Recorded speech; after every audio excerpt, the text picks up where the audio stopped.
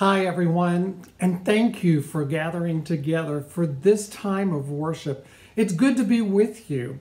And I don't know if you've heard, but we have begun in person worship again in our sanctuary. We are so excited. So, for those of you that are comfortable coming out in a setting like that, we would welcome you to join us there. Um, we are taking necessary precautions with social distancing and face coverings. Uh, we're doing our best to keep everyone safe and healthy while at the same time giving God our all out best praise and worship. So, wherever you're most comfortable, please join us there in person or here online. We will continue both. And we just look forward to lifting the name of our God on high and giving him the adoration that he is due. Won't you join me as we pray this morning? Heavenly Father, how we praise you and thank you for this opportunity to come together. Father, some of us will be in person, others virtually, but Lord, our spirits are joined together to praise and to adore you. We thank you, God, for being the amazing Father that you are. Thank you for the many ways in which you touch our lives. God, our world feels so crazy and upside down some days, and yet we know, God, that we can just take each day as it comes in your strength, in your power, and Lord, we thank you for that. We thank you that you care so deeply for each and every one of us. You desire your very best for us. So, God, today and every day, we bring you our best. We offer to you our praise, our exaltation. Father, may your name be glorified, yours and yours alone, because yours and yours alone is worthy. Thank you for being our Heavenly Father. We give ourselves to you in worship this day in the name of Jesus Christ. Amen. Thank you.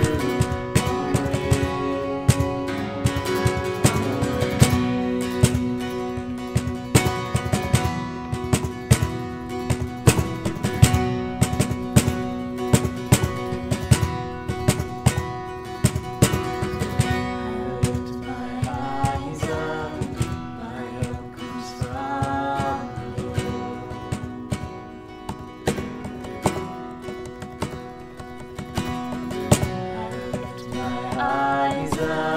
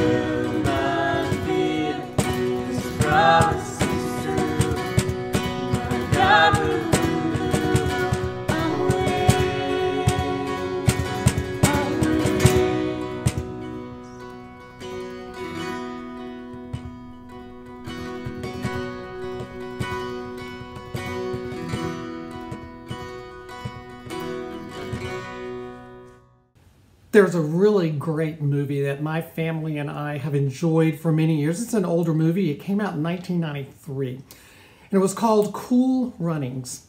And it's a, a, movie based upon the true story of the Jamaican bobsled team. If you haven't heard about it, yes, that's right. That's what I said. A bobsled team from Jamaica. A group of guys got together and they formed this team and they went to the 1988 Olympics in Calgary. It was the first time when they arrived there in Canada, it was the first time that these men had ever been on ice before. Um, they created a, a bobsled, they had all kinds of technical difficulties with it. There were injuries, there were crashes, and everyone kind of looked upon them as if it was just a novelty that they came to the Olympics everyone just kind of was like, like, really? You really thought you could do something? A bunch of guys from a tropical island to come and, and be on a winter Olympic sport? Well, then in 1992, um, the Olympics in Albertville, France, the Jamaican bobsled team returned. They placed 14th no, they didn't medal, but they placed 14th.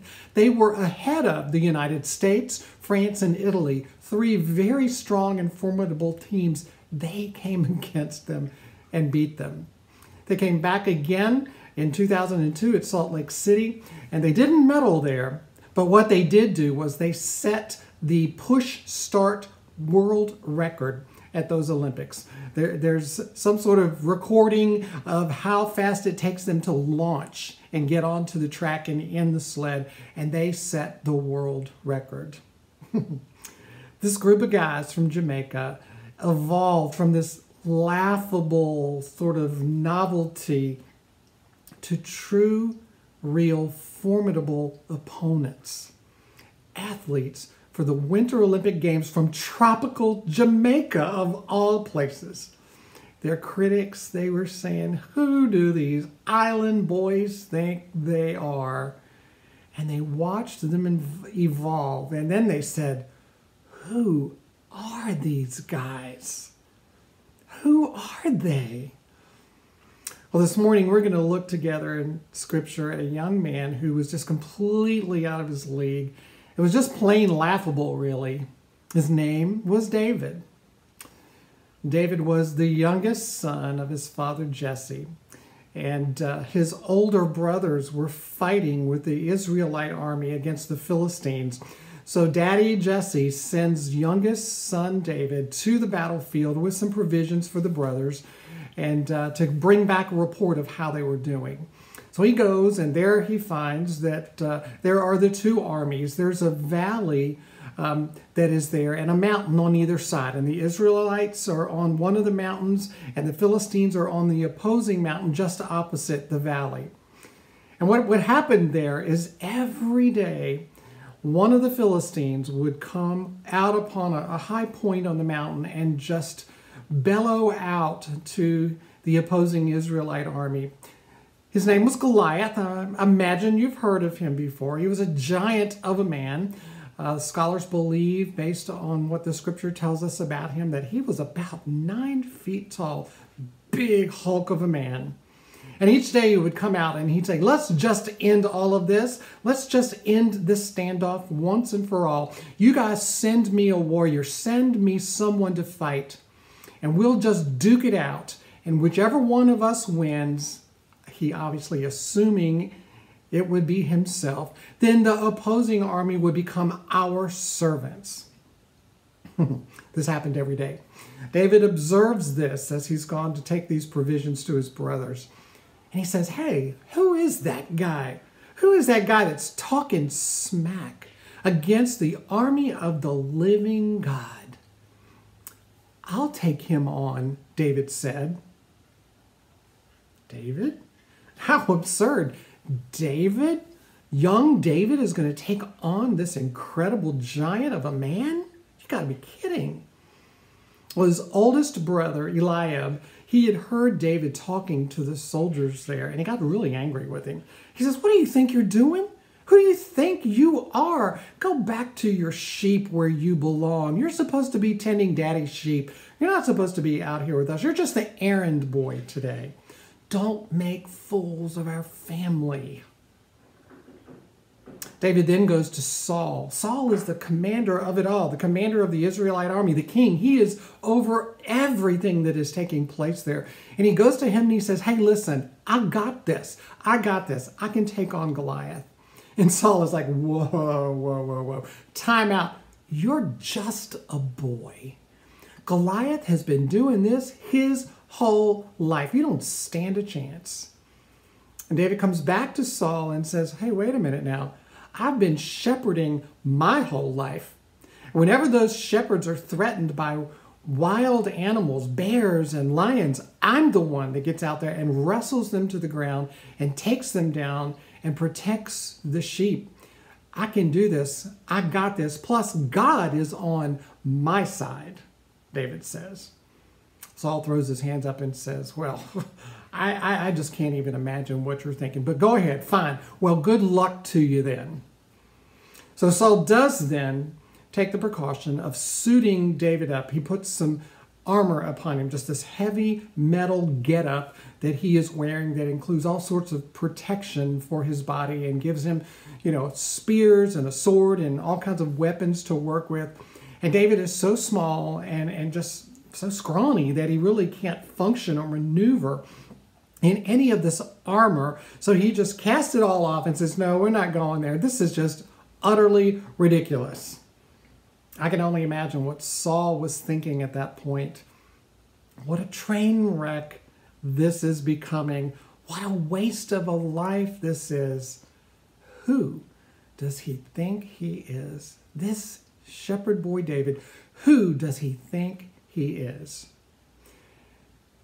David grabs his slingshot, some rocks off the ground, and off he goes.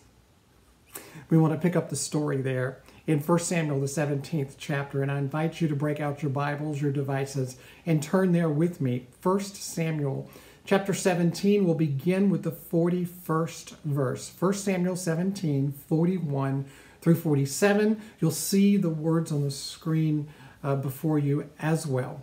And here we read The Philistine came on and drew near to David, with his shield bearer in front of him. When the Philistine looked and saw David, he disdained him, for he was only a youth, ruddy and handsome in appearance.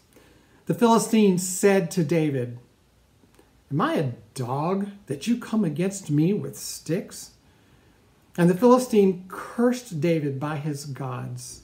The Philistine said to David, Come to me, and I will give your flesh to the birds of the air and to the wild animals of the field. But David said to the Philistine, You come to me with sword and spear and javelin, but I come to you in the name of the Lord of hosts, the God of the armies of Israel, whom you have defied. This very day the Lord will deliver you into my hand, and I will strike you down and cut off your head, and I will give the dead bodies of the Philistine army this very day to the birds of the air and to the wild animals of the earth, so that all of the earth may know that there is a God in Israel, and that all this assembly may know that the Lord does not save by sword and spear, for the battle is the Lord's and he will give you into our hands. You thought we were going to the uh, slingshot defeat scene, didn't you? But we know that already. We know what happens. I want us to think about today and really reflect upon it and apply to ourselves what it was that David was really up against. Let me remind you exactly what it was that he was up against. Not just the giant, but the others as well. His brother and the armies of Israel, they bullied him. They just bullied him when he said that he could take on this giant. Brother said, Just go on home, you wimp. Who do you think you are?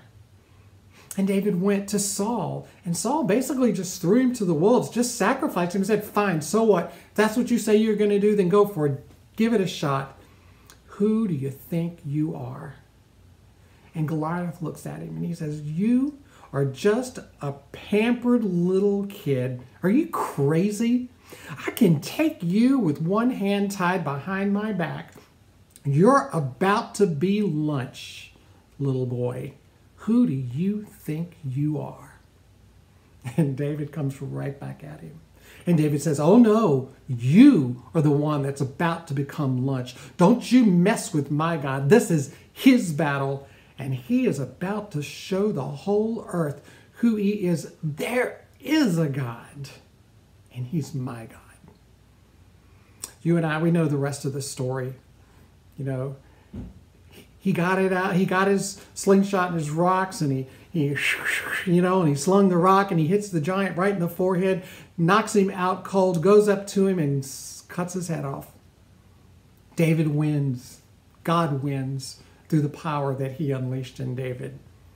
And all went from this crowd of armies staring at what they thought was going to take no time for this showdown to occur. Goliath was just going to take him down with one swipe, and it all goes to who does this boy think he is? To who is he? Who is he?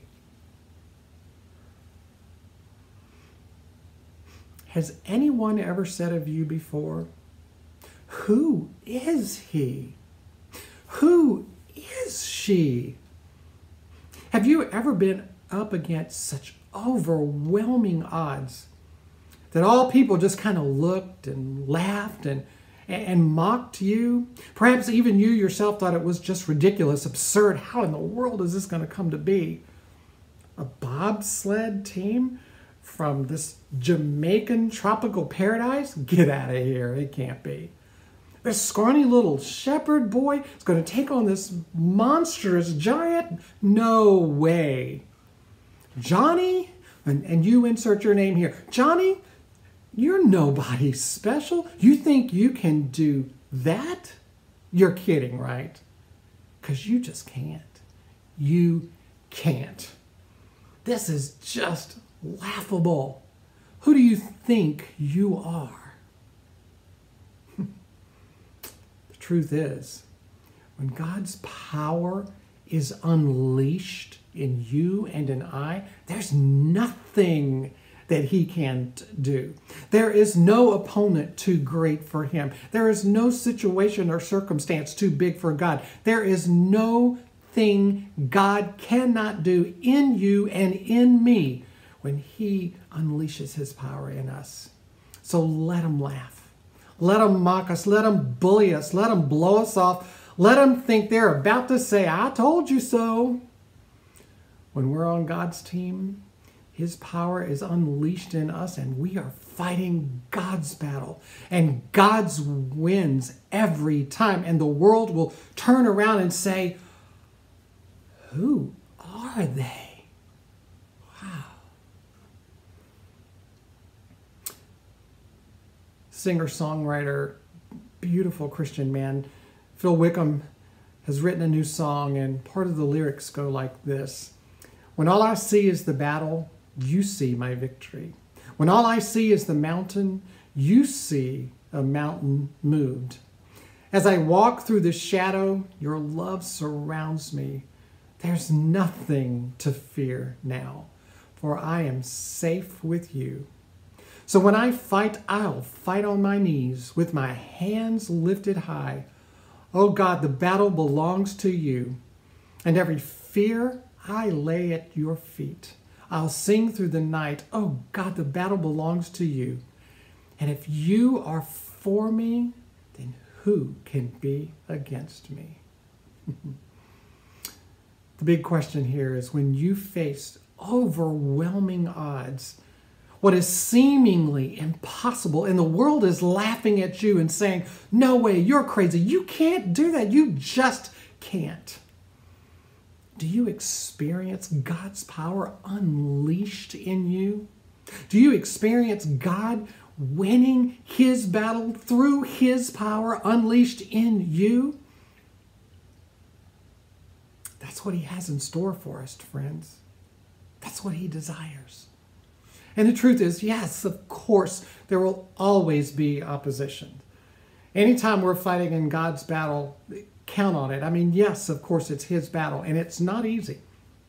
And even though he is the victor and he provides the power, we still have to take our position and we still have to fight. It's not easy. There will be opposition. And oh, it's so heartbreaking, isn't it? But the opposition, the naysayers, the mockers, the unbelieving, the unfaithful, so often they could easily be and often are our family. People in places of influence. People we thought were on our team. Sometimes they turn out to be the ones that say, no, you can't. You can't. Who do you think you are? You can't pull that off. They seem to be the ones that question God's power.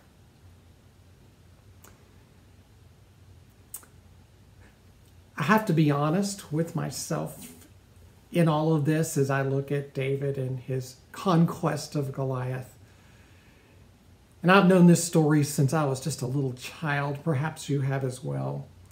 And I look at that and I think, wow, what a mm, amazing, tough young man David was. That he was so filled with faith and so consumed with God's power that he was used of God in this mighty, incredible way. And I think about myself. And, and, and is God doing that in me?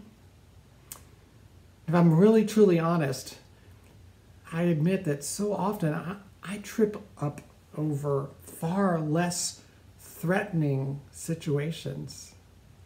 I, I, I, trip up over less giant people that come against me in opposition. I, I fall over less giant life situations than what David experienced. I mean, do we have truly have David's resolve to stand against whatever or whoever stands against our God and his cause? I think about other places in our world where followers of Christ are experiencing true and real life threats and life sacrifices because they proclaim the name of Jesus Christ, because they carry a Bible, because they assemble together to worship, because they fall on their knees in prayer to Him. Churches being destroyed, pastors being killed, followers of Christ being taken hostage and tortured. Versus what we experience here, which pretty much on the worst day is just a, a mocking of who we are as followers of Christ. I, I sometimes just wrestle with this, thinking, my heart hurts for our Christian brothers and sisters that are experiencing such real life threat persecution. And somehow I think, well, is it fair that I don't? But then I wonder sometimes maybe it's because I'm just not so much of a threat as they are. Maybe their faith is just deeper and more real. Maybe we just don't face these, these incredible life circumstances with such resolve and such power as David did, as others in our world do today. I guess it comes back to perceptions and, and perspective. You know, Goliath looked at David and, and Goliath said, Look at that little young boy he's a nobody. He's a pretty boy. Oh, he's handsome. And he doesn't even have calluses on his hands. He thinks he's going to take me down. And David looks at this, this Goliath, this giant, and he says, Well, yeah, he's big, all right. But my God is bigger. My God is more powerful. My God can take him in a heartbeat. Sometimes our life challenges today just sort of overwhelm us and consume us and come upon us in ways that it kind of feels like we're drowning some days. And yet, when we really get into the right heart and mind and spirit perspective that God calls of us, He shows us that when we welcome and embrace His power unleashed in us, that God is more powerful and God is bigger and grander and God can take down those life circumstances. He can get us through them no matter how difficult and challenging and overwhelming we may think they are. God can do it. God's got it. So I ask you and myself today as well how, how do we respond to the world's mocking, to real, true confrontation because we're followers of Christ, true opposition against God and therefore against us? Do we ignore it? Do we avoid it? Do we try to deny that it's even there and just sort of soft pedal it a little bit, thinking maybe it'll go away? Do we pray but then never take action based on the answers God gives us to those prayers? Do we delay sort of doing anything or responding in any way, procrastinating, hoping, gosh, maybe if I just look the other way, maybe it'll disappear somehow? When the opposition is real, when the confrontation is there, when the world is mocking us because we love Jesus Christ, do we hold back? Are we stymied? Do we hesitate? Do we doubt? Do we question? Do we even retreat and run back? Or are we propelled? I mean, just launched into seemingly impossible circumstances, standing in the very gap for God with His spiritual weapons that He has given and imparted to us, trusting His control over His battle, trusting His purpose to gain spiritual ground in the battle, to make Himself known, trusting the power of God Himself unleashed in us in the most difficult of situations. Hmm. Think with me, friends. What if? What if during COVID, or really any other real, true life crisis that comes about to us, to our world today. What if God's church was not caught up in all the drama of the crisis, not on the worldly playing field, not just you know looking at the obvious that's here, but seeing the larger, grander spiritual perspective that God gives to us as His children, as His followers, and that we're on that spiritual plane instead? What if instead of, of, of being caught up in the, in the lower worldly stuff, that we, His church, what if we stood up and became the united movement of God that He has called us to be? What if we stood tall and says, we stand for our God. We will stand up to you, giant, whoever and whatever you are, together, united, we stand against you. And it is clear to all, to believers and unbelievers alike, that we are boldly living out of the power of God in us, that we are rising above the heartache, the heartbreak, and the pain in our world, that our, that our lives, they're in the very depths of the grim reality of our broken world, but we are living there and rising above it, doing so in God's power unleashed in us. What if the world watched us living in that power, that power that prevents despair, that power that gives hope, that power that experiences redemption in the very hardship, the real hardship of life? What if we, as a movement of God, were not defined by what we do? You know, the, the community, the world looks at us and says, oh, there's the church. Yeah, they get together on Sundays and oftentimes during the week too. And, you know, if we ever need clothes, we can go there. If we need food, we can go there. If we need a, a place to gather and meet with a group of, of our um, friends or whatever organization we're a part of, yeah, the church will allow us to come in and do that. And if we get in a real tight spot, the church will be there to help us financially. What if, as good as those things are and as wonderful as those things are, and I'm all for them, But what if instead of being defined by what it is that we do, what if instead that we, as a movement of God, were defined by who we are? What if the world looked at us and saw how we live in His power and the very reality of the true world that we are in today, and they said, Oh, so that's what heaven is going to be like, living like that.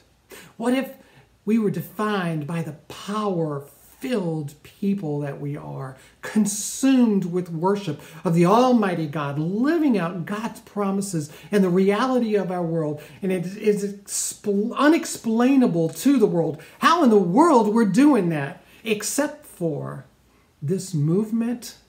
This movement is a power of God to be reckoned with. What if that's what they saw in us?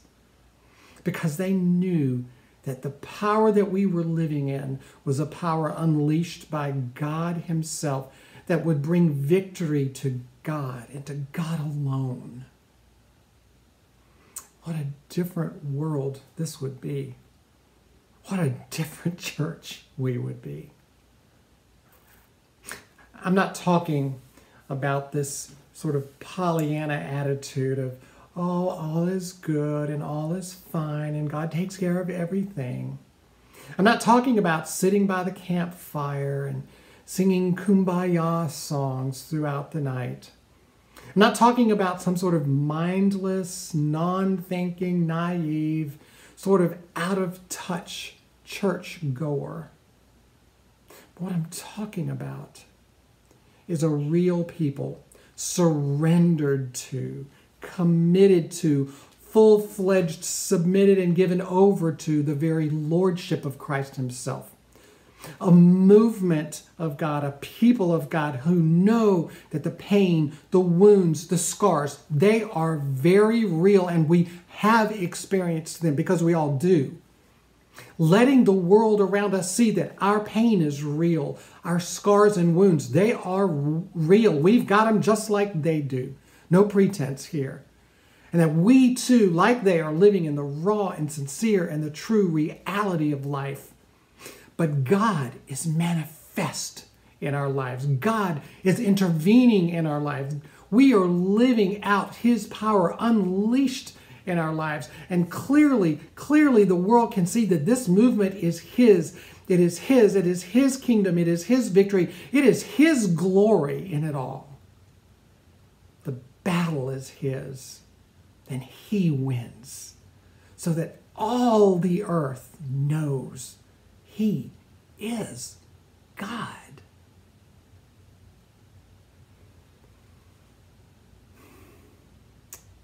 Francis Chan, he said these words Something is wrong when our lives make sense to unbelievers. Something is wrong when the unbelieving world can look at the people of God and figure it all out and understand it completely. We should be living in such power of God in such unexplainable ways to an unbelieving world that they just scratch their head and wonder, how can this be? Who are they? And prayerfully yearn for that themselves. We are His church. And when everything is up against us, the world looks at us and says, Who do they think they are? Look at that little First Baptist church down on Woodland Boulevard. Who do they think they are? It's an old building, it's a small group of people. Did they really think there's, there's something different or special? But when we live in His power unleashed in us, the world will sit up and take notice and recognize that something's very different and it's God in us. And then they will say, Who are they? Who are they? Please, won't you pray with me? Father, how we praise your name. Father, how we sincerely and truly plead with you that you would use us, your people, use us individually and within our homes and families, but also, God, use us within our community of faith, this church family. Those who gather together in person, those who gather virtually, all of us together. Use us, Lord God, as your church, your people, your children, Lord God. Father, we are on the battlefield every day. I pray that we don't ignore it. I pray that we don't run from it, but instead I pray that you give us the courage that only comes from you to stand firm and to stand tall, to stand united as your church against whatever it is that comes against you, whatever it is that comes against your kingdom. And God, even though we look around the world and we see that there is real life threat and real life sacrifice for professing Jesus Christ in other places in the world, God, I, I can't help but believe that it's getting closer and closer to home every day. So, God, I pray that you give us your power, unleash it in us in ways, Lord, that we are a movement of God. And that the watching world sees us and they recognize that we're not just playing church. There's no pretense here. We're not just acting like everything is good and, and that as long as we have Jesus, everything is going to be just fine. But instead, Lord God, that they see that we have true illnesses, we have health concerns, we have financial problems, we have relationship issues, we have hurts and wounds and difficulties. And there are days when we too feel like we're in such a state of despair. They see that in us, but then what they also, and more importantly, see God. As we rise above that through your power in us, and we live on a different level and we live on a different plane. And Father, they come they come to the place of, of not just questioning who we Christians think we are, who we Christ followers think we are, but instead they see us living in your power and they recognize there is something very special about that. There is something very, very unique and wonderful and incredible about living in your power unleashed, and they say, Who are they? Who are they? God, use us to your glory. I pray that in each day, all that we do from the simple, basic routine of our lives to the, the bigger, grander missions and callings that you place upon us, that we live out them right through the hardships, right over the tops of the mountains and the hurdles that we face, fighting the battles on our knees in prayer and praise and worship, Lord God. Also, that this world will know that there is a God, that you are God, and that you are almighty, all powerful, all loving, that you are, that you are our God. How we praise you, Lord. Thank you Thank you for unleashing your power in us. We give you ourselves this day, Lord God, surrendered to you in the name of our living and powerful Savior, Jesus Christ. Amen.